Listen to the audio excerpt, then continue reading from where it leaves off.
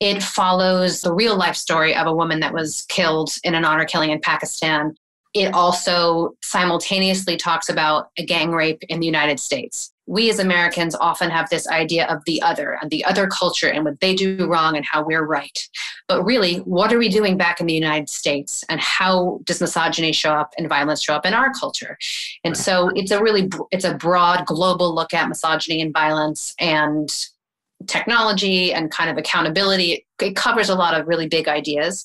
And I that was all really important to me to talk about, to own, to you know, there I there I've often had people say to me, I didn't even know honor killings existed. And so that, you know, I feel very proud to bring some awareness to that. Um, mm-hmm. certainly I'm, I'm not trying to be the poster child for anything but just to say this is an important conversation and i'm glad to, to contribute to it